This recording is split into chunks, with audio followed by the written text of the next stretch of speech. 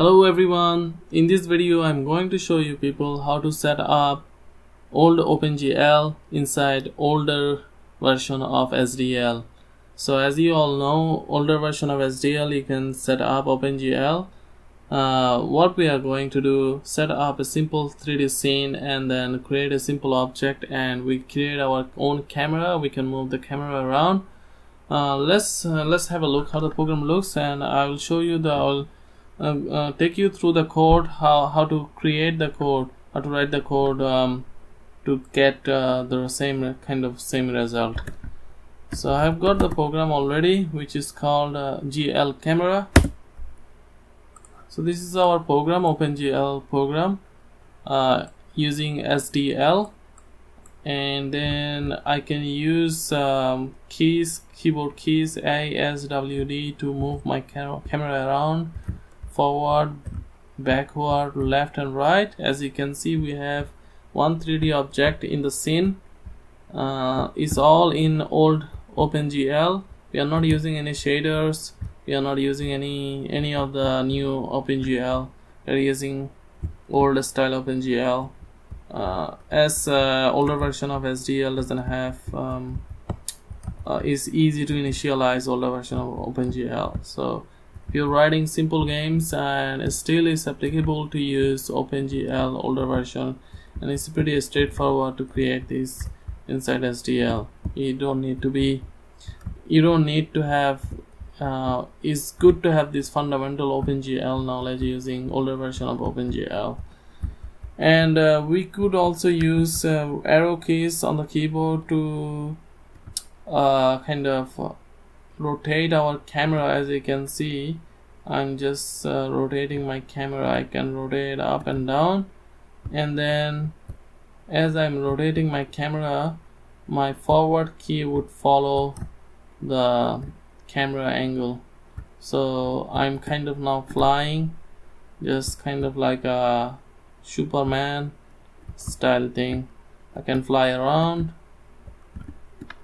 just like so if you're building a simple flying game maybe this is the camera you want. Uh, is kind of the camera. Uh, there are many ways to create camera inside OpenGL. So but this is a camera which kind of so that's all for this uh, the demo code uh, demo program so now I'm gonna take you through the code. Uh, the code is here OpenGLC. It's all written in C. Uh, so now we have to include let's, uh, make it bigger.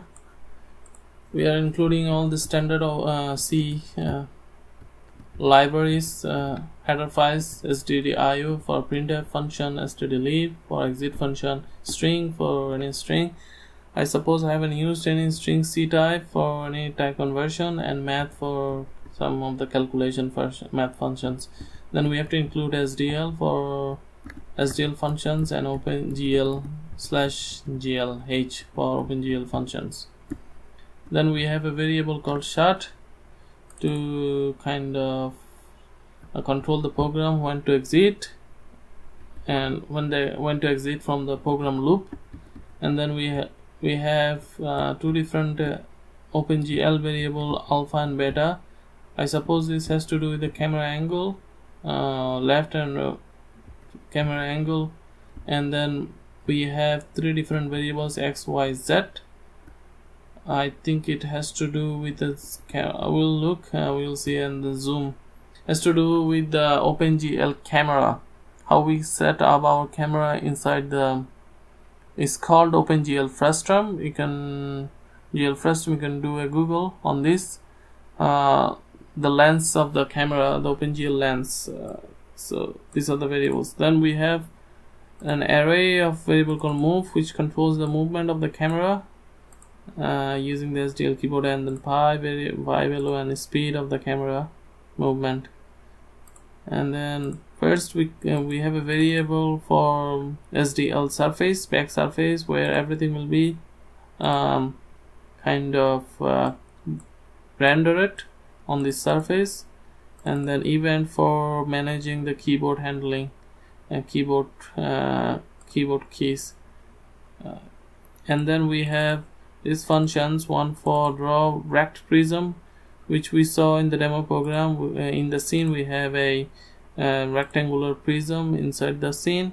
And this function would exactly create that uh, object inside the OpenGL and it takes on length width thickness of the prism and the color of the different sides red green. And then I think the setup RC setups the scene has to do with the let's look have a look uh, set up the scene and then render the scene. This function would render the scene and then physics. It just has to do with the movement of the camera. Get input is uh, um, just receives the SDL keyboard as keyboard uh, information whether a key is triggered or not. Then we have our main function. Uh, first we print initializing SG SDL so that we set up our SDL using the SDL init function. Uh, we tell we pass SDL init video. We want a video as uh, we want a video and we want a timer. And we want audio. I I suppose I haven't used these two so you can take it out. These two because these two thing is not used in the program. Timer and audio. We don't have any audio. We don't have any timer. I think um, I just put it there and then we print print success if it's if it was successful and we set the SDLGL set attribute. Uh, we want a double buffered OpenGL context. So that's why we have to use this function to get double, double buffered OpenGL. Then we send the title of the window SDL window which is this as you saw. And we create the main SDL surface the surface where everything will be drawn using um, SDL set video mode we want uh, the resolution of the surface of the window uh, the resolution of the window to be for 640 by 480 uh, pixels 32 bit color and it would have SDL OpenGL OpenGL context. Then we check if it's uh, if it was successful and then we set up our context using the setup RC let's move on to that function. So inside setup RC we are setting up all the OpenGL related um, functions uh, so we'll have depth test for our OpenGL. What it does GL enable we use the GL enable function to enable GL depth test. Uh, what it does uh, it uh, allows us kind of uh, differentiate the objects which are further in the scene further away from the camera and closer to the camera. Uh, so it could uh, it would do this kind so you could do more research on that and the front face GL front face we want counterclockwise. What it does uh, all the uh, vertices uh, which are which are defining the face of every object inside the OpenGL context right after this um, function will be all the faces has to be counterclockwise. The all the vertices on faces has to be placed in a counterclockwise fashion to be rendered. Otherwise it would be um, transparent. Then we'll have cull face. What it does uh, cull face so each face or of the object uh, only the outside face of the object will be drawn. So the inside of the face will not be drawn in OpenGL. It just helps uh, reduce uh, increase the performance in OpenGL. And then yeah, we set the clear color which uh, the color of the OpenGL uh, this for the background color. And the, we set up the OpenGL viewport which will take up the whole back surface SDL back surface as you can see um, viewport is the window through which we see the scene. And then we set the OpenGL matrix mode to OpenGL projection. So everything will be all the objects in, into the scene now will be projected using the frustum we load up the identity matrix and we set up the frustum which is the uh, lens of the view. Uh, then we set to the model view so that now we can um, plot our uh, vertices inside the scene. Now going back to uh, the main function here we have the main loop and which checks for the start shard variable. If it's zero it will uh, continually uh, keep running. Uh, if it's one then the while loop will just stop. Then we have something called SDL get ticks to regulate our frame rates. And then we have if it's greater than uh, as uh, 20 frames as defined uh, by the FPS underscore regular. So whatever is greater than this then it will it will then count as one frame and then collect get the input for that particular frame and render physics. What it does is just moves the camera around and we get then render scene which actually renders the scene uh, using the SDL surface. Then we have, we have SDL quit function which um, stops SDL from uh, working. Right like like we have here render scene uh, now going back to get input function. Let's see how the input function works. Uh, inside the input functions we have regular SDL poll event to get all the events. Uh, events are the different uh, inputs collections. Uh, inputs such as keyboard mouse um, uh, gamepad inputs. Anything is considered as event in uh, event type or it could be a timer. Now we check for event type and if it's SDL key down which is the keyboard down we check for SDL left right up down key A S D. So each key will set this move variable to 1 1 1 if it's down it will set all of this to 1 move variable. So if the key our key is up eh, all the move uh, variable would become 0 so that by checking move variable um, status we can uh, move our camera around. So that's how we kind of do the movement inside the world.